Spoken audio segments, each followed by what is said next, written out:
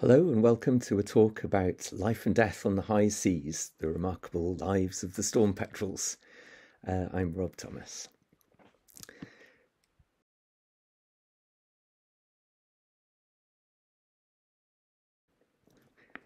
Now, there are lots of different uh, species of storm petrels, about 28 species around the world, but the species of storm petrel that we have breeding on the West Wales Islands of Skomer and Skokholm is the European storm petrel, uh, surely one of the best birds in the world. Um, it's a very small seabird. It's the smallest seabird in the Atlantic Ocean, weighs only about 25, 26 grams. It's about the weight of two one pound coins. Uh, if you think about it, that's quite cheap for a seabird. Uh, it's a very highly oceanic species. It spends most of its life far out to sea. It comes on shore primarily uh, under the cover of darkness in order to breed. And it's a long distance migrant. Um, birds breeding um, on the West Wales Islands are known um, from bird ringing recoveries um, to spend the winter far to the south uh, in the fertile upwelling waters off South Africa and Namibia. And it's known that um, some birds from the Atlantic population, northwest Atlantic breeding birds, uh, actually round the Cape into the Indian Ocean to spend their winter. Um, they're very good at surviving during these um, long distance migrations. They um, can survive quite commonly for 20 years or more. Um, the longest lived storm petrel so far is the bird that was uh, caught in Orkney um, and was recaught 38 years later. Um, but because it was already an adult when it was first caught, um, it's very likely to have been over 40 years old on its re- uh, subsequent recapture. Incredible survivors on the open ocean. As you can see, uh, the birds are small enough to fit quite snugly into the, the palm of a hand. Um, the hand in this photo is a particularly large hand, uh, the hand of Big Dave Kelly of Trinity College Dublin, um, one of my largest friends. And uh, we study from Cardiff University the lives of the storm petrels um, on migration past the coasts of Portugal. Um, each summer we have study um, involvement on Shetland and the Faroe Islands and it's been a great pleasure over the years um, to link with Rich and Giselle and others on Skokholm Island, especially uh, in their studies of the storm petrels breeding there. And the birds are mysterious, partly because they're highly nocturnal, at least on land, um, and that's one of their strategies to avoid uh, their predators.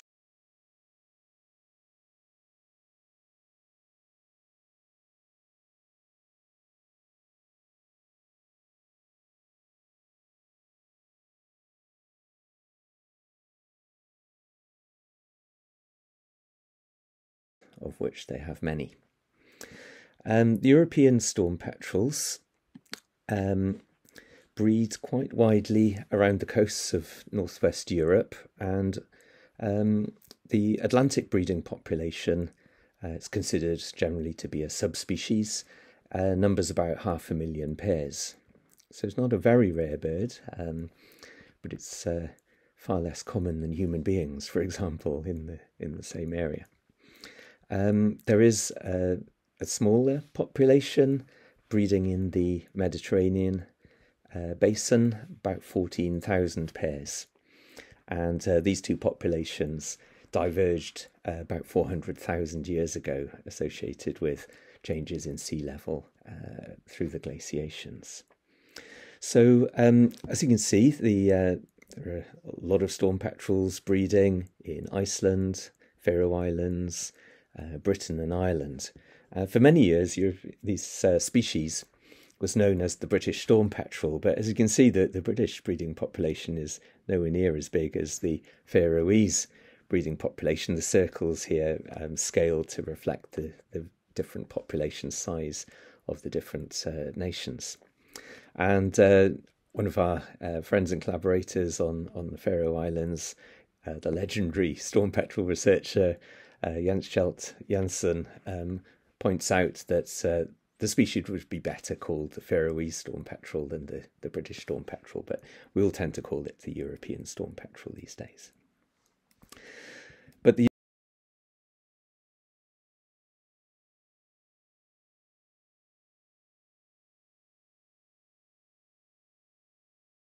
um, as I say, uh, are one of about 28 species of storm petrels around the world. But curiously, the exact number of storm petrels is, is uh, keeps changing. Um, partly because at least one storm petrel um, has gone extinct in historic times. That's the Guadeloupe storm petrel, which um, from Guadeloupe Island off uh, the coast of Baja California was last seen in 1912 uh, very likely now to, to be extinct.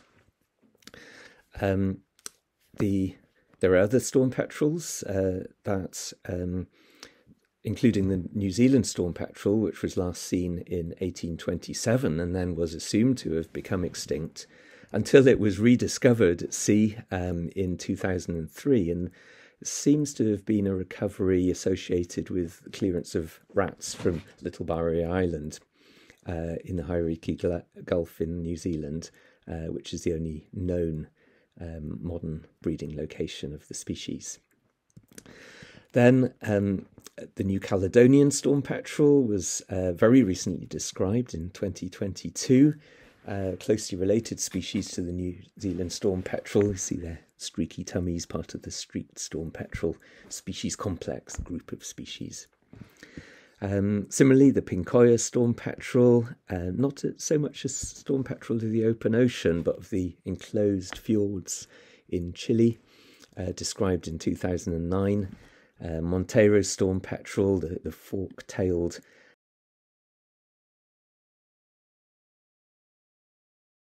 uh, version of bandrump storm petrel breeding on Praia Islet in the Azores um, discovered or described first in 2004. So, um, of these 24 different species, they're divided into the northern storm petrels, uh, of which there are 18 species in total. We see the first 12.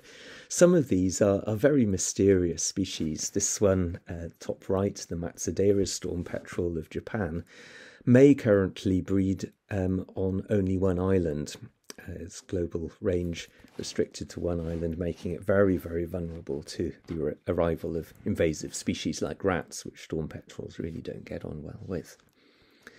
Uh, the northern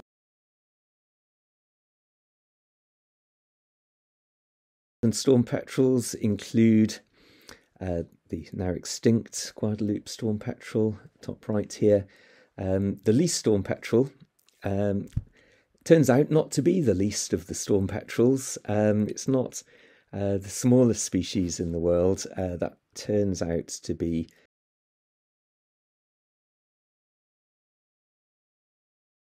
almost certainly uh, this little species here, the white vented storm petrel of um, the Galapagos and South America, uh, which weighs as little as 17 grams. Absolutely astonishing for a seabird, seagoing seabird uh, out on the open ocean in all conditions. Um, incredible survivors despite their, their tiny, tiny body size. So the northern uh, storm petrels and the southern storm petrels, historically, they've been regarded as part of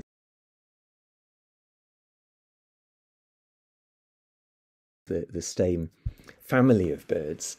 But more recently, genetic studies suggest that they are actually two quite separate families, and the um, the southern storm petrels may be more closely related to the albatrosses than they are to the northern storm petrels. The, the relationships are still being uh, analysed and um, and uh, investigated in more detail, but it seems that the northern and southern storm petrels have converged on this small black and white water walking type phenotype um, body plan and and behaviour, uh, despite being from from rather different families of of uh, tube-nosed seabirds.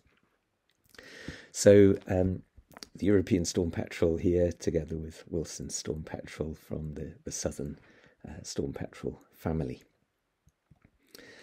Um, and the storm petrels, of course, are part of the wider group of birds, including the petrels, is a Cape petrel, and the albatrosses. Um, so they're uh, the smallest members of the tube-nosed seabird family.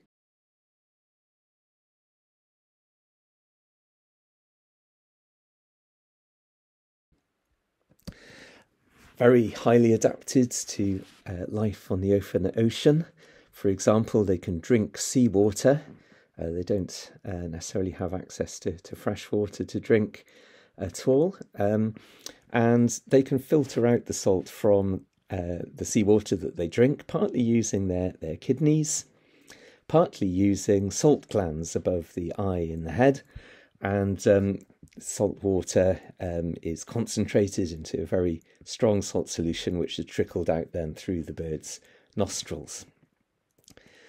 And a very efficient uh, saltwater filtration system, which allows the birds to survive.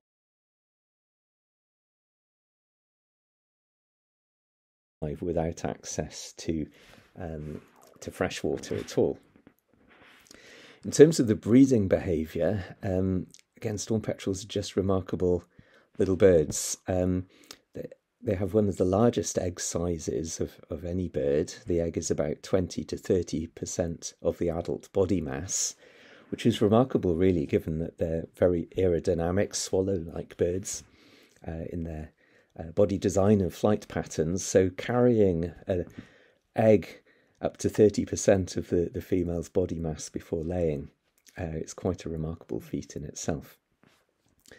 Uh, the picture in the top right here shows the, the brood patch, uh, patch of defeathered skin that the bird uses to uh, warm the egg uh, until it hatches and the chick breaks out of the egg, uh, like many other bird species. The chick breaks through the egg uh, shell using its egg tooth, uh, little um, calcified lump on the end of the bill, uh, which drops off as the as the chick uh, starts to starts to grow. So it's a, a single egg that they lay, large white egg that almost seems to glow in the in the half light of the burrow. Uh, this bird is uh, one of Ben Porter's study birds on the Faroe Islands. This is in an artificial nest box.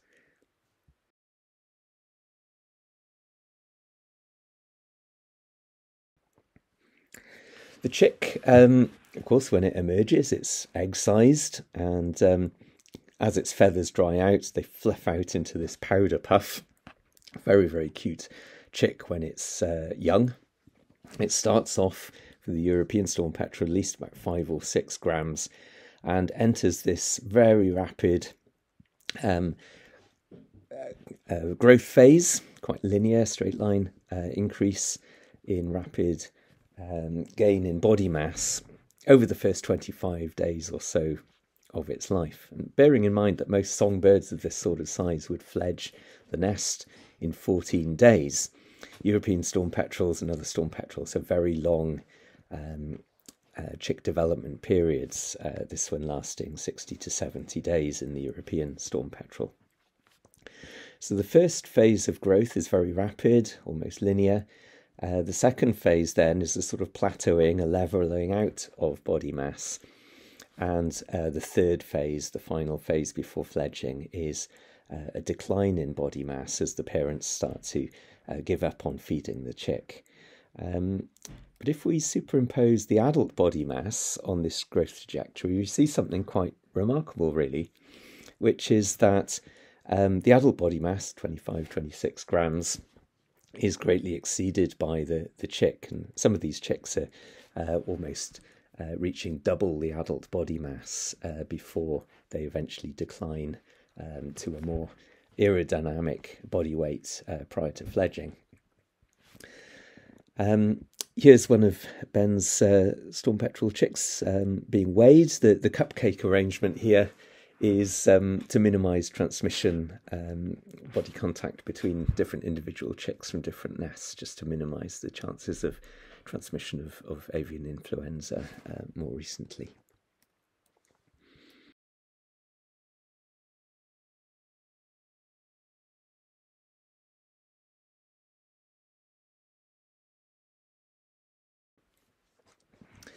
Now, um, currently, uh, all sorts of new technologies are being brought to bear on the study of storm petrels, which have remained very hard to study.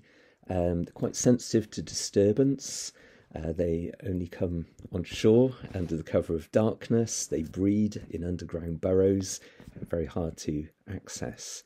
So, various um, bits of technology now are being uh, used to study the lives of these quite mysterious seabirds. Um, here's Bardsey Ben Porter. Um, Bardsey Ben is about to start his PhD at Cardiff um, on uh, the storm petrels of the Faroe Islands. Uh, Ben's already been involved in the Faroes work um, for several years and uh, also in our work on storm petrels out in the Azores. And part of Ben's work is very much involved in tracking these tiny seabirds using these tiny little GPS loggers uh, that are attached to the central tail feathers of the bird. You might just be able to see the antenna of a GPS logger attached to the tail of this um, band-rumped storm petrel on the Azores.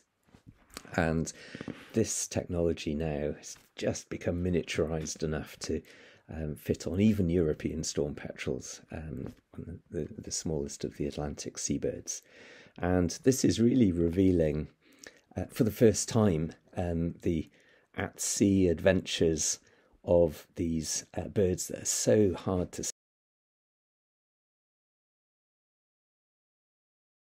study otherwise. And uh, here is Ben's first track. This is the first ever track of a European storm petrel from the Faroe Islands.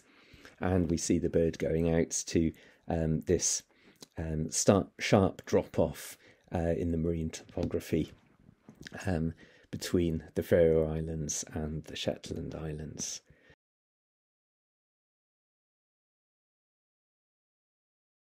And um, incredibly exciting science, you know, finding out for the first time really what these birds uh, do at sea. Uh, here's Ben downloading one of these tracks, uh, accompanied by Zoe Deakin and Mark Bolton of the RSPB.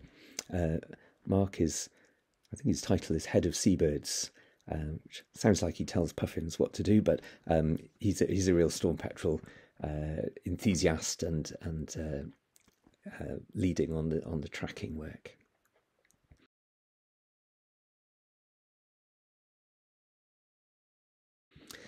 Um, the tracks themselves uh, reveal a lot of details about the birds' lives. Um, we can divide the tracks up into um, commuting behavior, um, basically flying quickly in a straight line, um, and the more tortuous parts of the tracks, coded in blue and red here, indicate foraging type behavior and we can look at uh, the time of day or night at which those behaviors take place.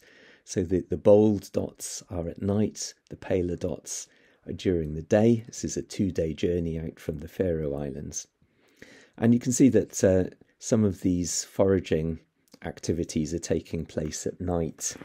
Um, as well as some during the day as well, so that there certainly appear to be nocturnally foraging during the breeding season and then returning back. This is a, circular clockwise trip, uh, returning back um, during darkness, arriving back at the burrow under the cover of darkness to avoid problems uh, posed by predators. So, lots of very exciting science coming from these GPS tracking studies, which have only really be, become possible as the technologies become miniaturized enough uh, over the last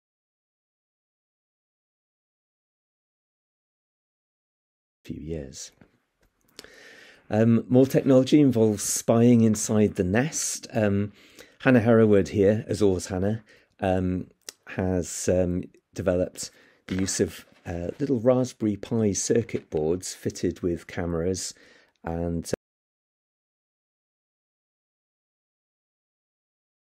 um, Hannah's uh, Raspberry Pi cameras are being widely used to uh, investigate the behaviour and ecology of storm petrels in their breeding burrows.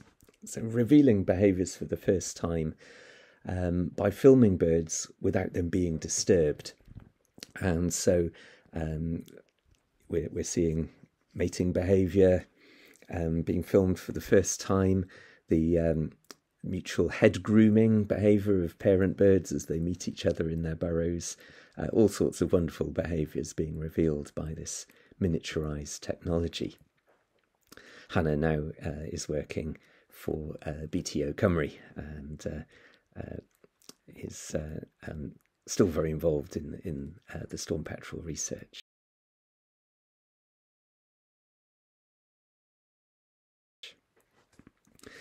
Closer to home, um, the uh, storm petrels on Skokholm, of course, have deluxe accommodation these days. Um, Petrel Station 1 um, is increasingly, year by year, occupied by breeding pairs of storm petrels. And um, I just love this. It's a work of art, isn't it? The uh, nest boxes, the banks of nest boxes, um, faced with the beautiful uh, herringbone style dry, dry stone walling uh, typical of the, the Pembrokeshire Islands. Just a, a, wonderful installation and being used by the birds in their um, dry, secure breeding sites. And the, the birds breed.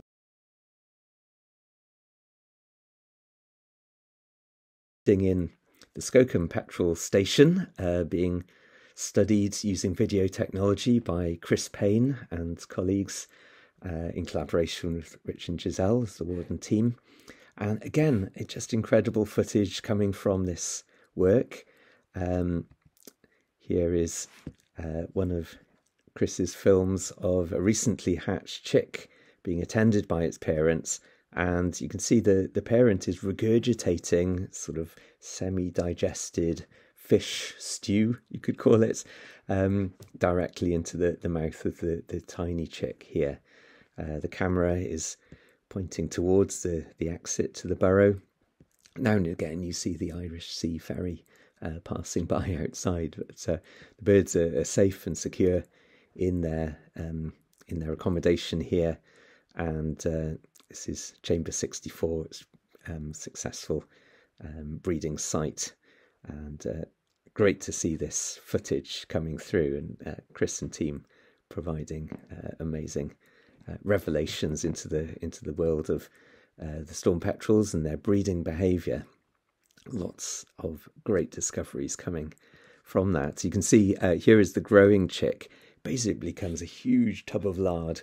Uh, again, sometimes double the parent's own body weight, and uh, providing lots and lots of high energy um, fish and semi digested invertebrates as well um, to enable that rapid body growth.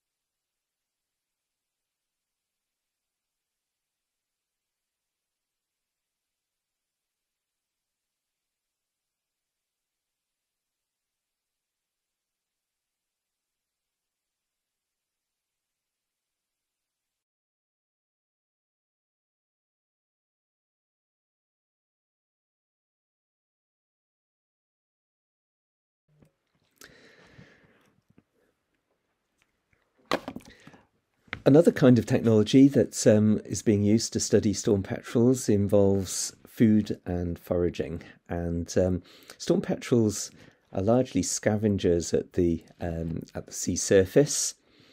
Um, this lovely painting by Catbooth Jones shows a, a, storm petrel just pattering over the water surface, and um, they they um, fly slowly over the sea surface, tracking the ups and downs of the waves and picking up bits of um, floating food that they find, uh, picking up almost whatever they find, including, unfortunately, sometimes these days, bits of floating plastic that they mistake for food.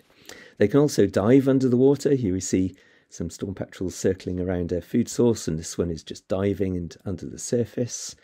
Uh, the next um, picture here shows it having a little swim around, picking up uh, bits of uh, dead fish in this instance. The pattering um, exposes them to um, damage to their legs and feet by fish striking them from below, seemingly. And about 5% of adult storm petrels are carrying these um, you know, fairly substantial uh, injuries, um, losing toes, sometimes losing the whole foot or the whole leg. Um, one of the commonest disabilities in any wild bird. But the, the birds, again, incredible survivors. They can survive these injuries, go on and breed perfectly su- successfully with just one leg. The feeding behaviour um, has been very difficult to study in terms of what the birds actually eat. And these two very dear colleagues, um, Renata Medeiros, uh, who was one of our PhD students, uh, now a lecturer at Cardiff University, uh, Bill Symondson passed away last year, and um, very very valued colleague who is who is much li- much li- much missed. And Bill pioneered the use of DNA technology to investigate animal diets, and Renata, in her PhD, applied that to the diet of storm petrels.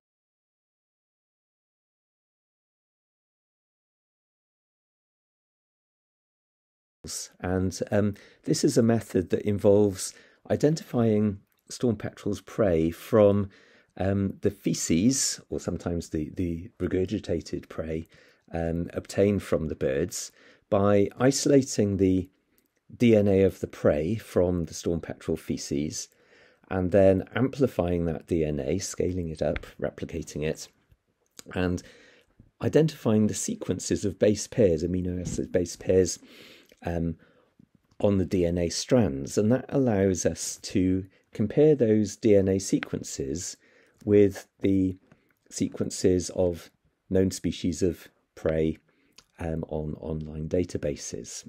And this gives us species level descriptions of the diet of storm petrels. So, again, great revelations of what do these birds actually eat and how do they obtain that food at sea.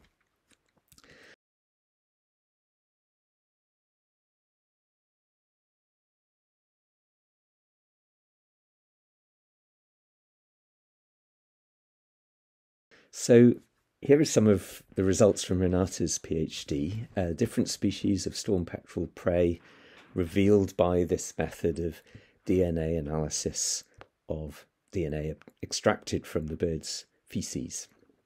And um, this is a, a slide uh, representing the diet of storm petrels as they pass Portugal, and they eat a lot of sardines, uh, as do I when I'm passing Portugal. Uh, it's a big part of the storm petrel's diet. Uh, about 40%, 48% of the, the prey sequences uh, came from 40, 48% of, of uh, samples rather contains sardine DNA. Other species include these uh, small pelagic um, commercial fish, Atlantic mackerel, horse mackerel, and um, some of the species were quite a surprise. So um, the prey included um, some deep water species like this greater forkbeard. Um, storm petrels feed al- almost entirely in you know the sea surface or the first few centimeters below the sea surface.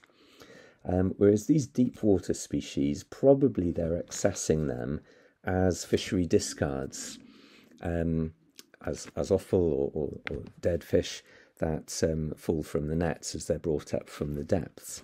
And storm petrels, both in Portugal and, and further north around the breeding colonies, they do appear to be exploiting fishery discards.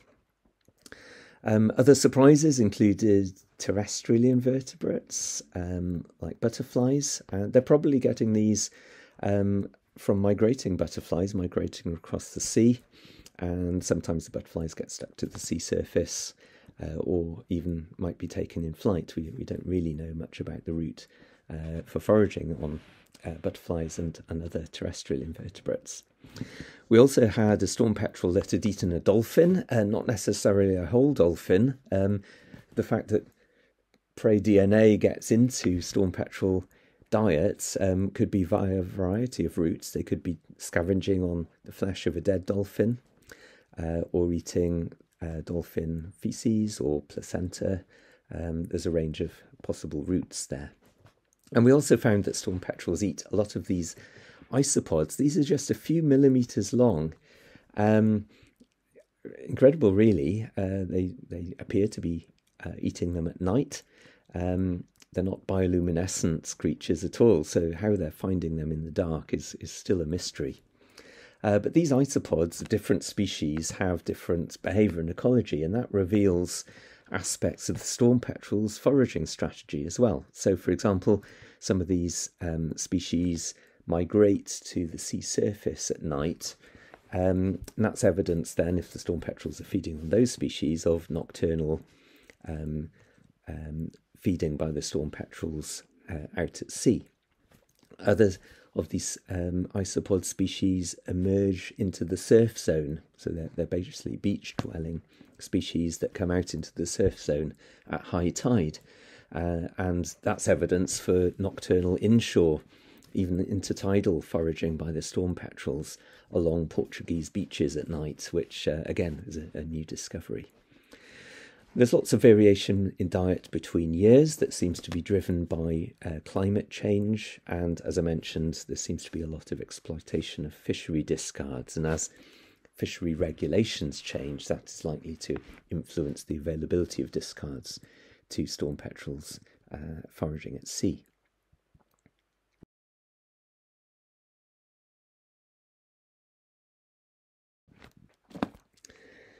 Now, storm petrels um, are vulnerable to all sorts of threats, and that raises a lot of conservation issues. If we look across the um, the 28 or so uh, species of storm petrels, we can see that um, the number of species declining is quite substantial. So, about 14 of the species of the 28 species are considered to be uh, decreasing, six are considered to be stable, and only one is considered to be um, definitely increasing.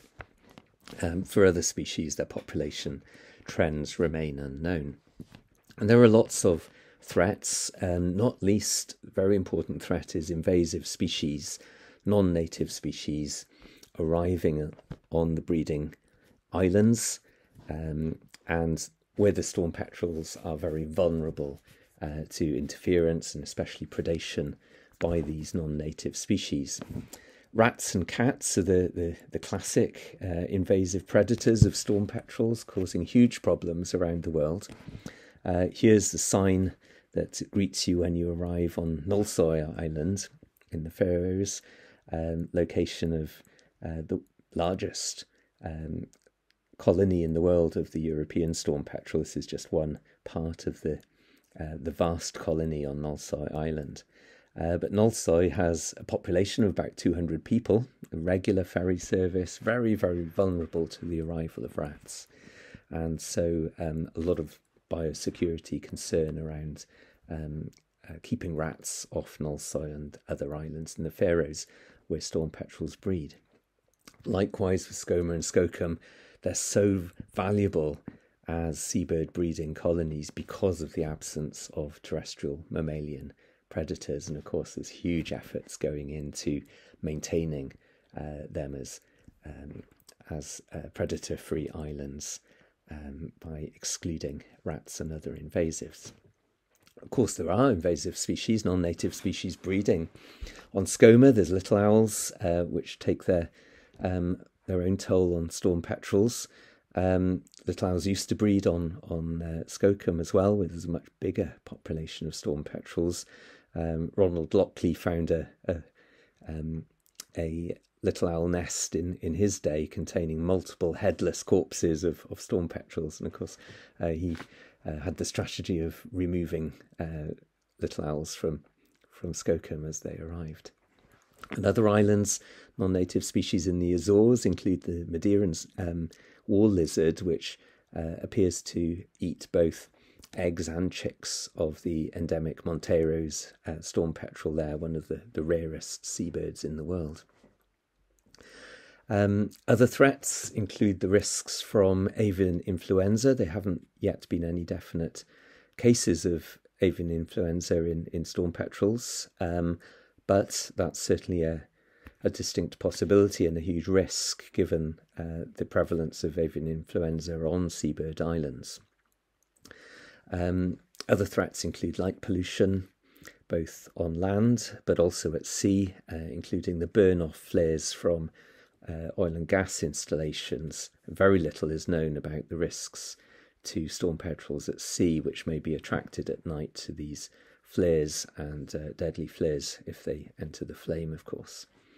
Uh, ben Porter's PhD is um, going to include an assessment of these risks by tracking the birds and seeing uh, how frequently they enter the um, light attraction zone of these installations at sea and their interactions with other marine installations like fish farms as well.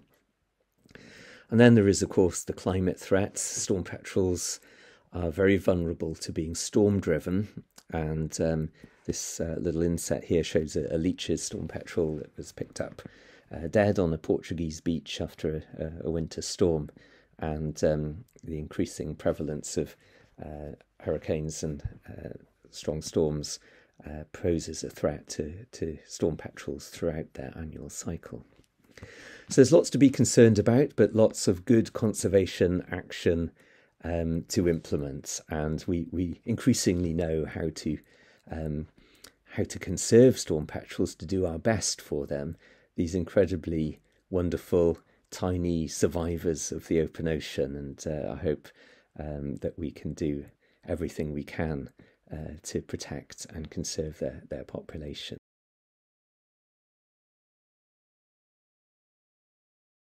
including, of course, on Skomer and Skokholm. Uh, it's been a great pleasure to um, to work with uh, Rich and Giselle and their teams over the years uh, in getting to know the storm petrels of of Skokholm and and to understand some aspects of their amazing lives. So thank you for listening uh, to this talk.